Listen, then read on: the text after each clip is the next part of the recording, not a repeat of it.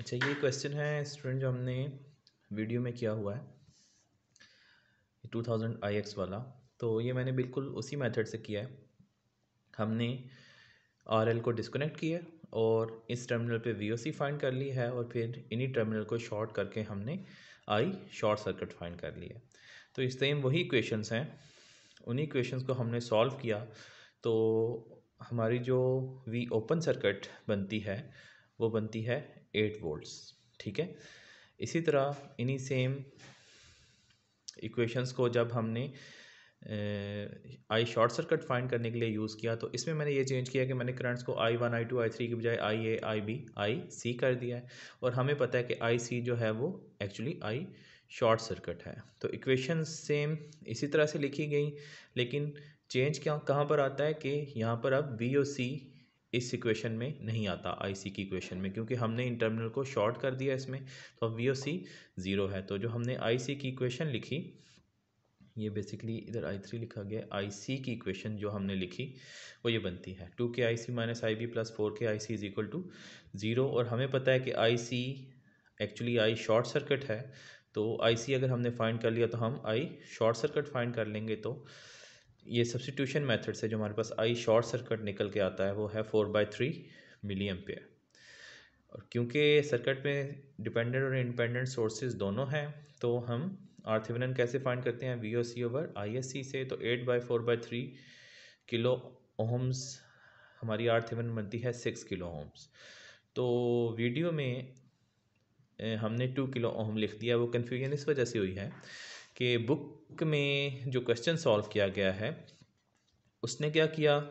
कि बजाय इसके कि वो आर एल को डिस्कनेक्ट करता, क्योंकि ये आर एल को डिस्कनेक्ट करने के बजाय, क्योंकि फोर के इस आर एल के सीरीज़ में था तो उसने इन पॉइंट से लोड को डिस्कनेक्ट कर दिया।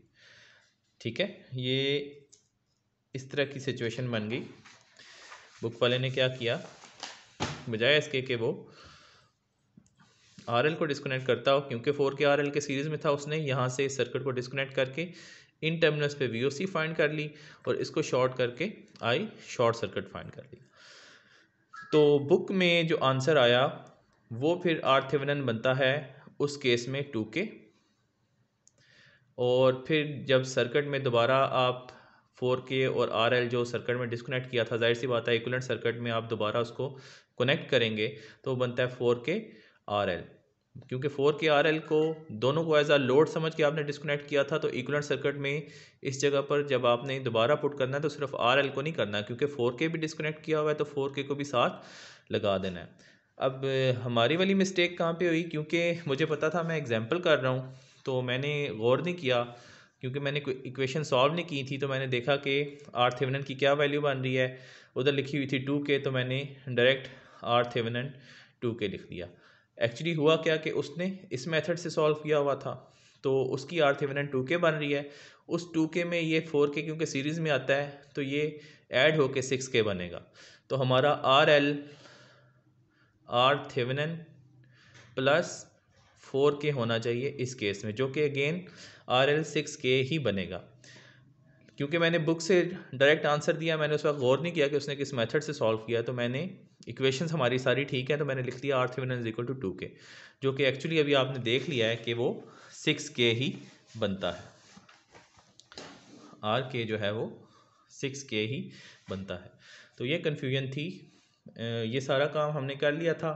आर थेवेनिन इक्वल टू लिखने की बारी आई इस स्टेज पे तो मैंने बुक से देख के टू के लिख दिया। लेकिन बुक वालों ने थोड़ा चेंज मेथड किया हुआ था तो ये दोनों मेथड ठीक हैं। बुक वाले ने भी ठीक किया हुआ है, आप यहाँ से भी डिस्कनेक्ट कर सकते हैं सर्किट को, ठीक है? लेकिन जो ब्रांच आपने डिस्कनेक्ट की है, फिर इक्वलेंट सर्किट में, वो वही कनेक्ट करनी है।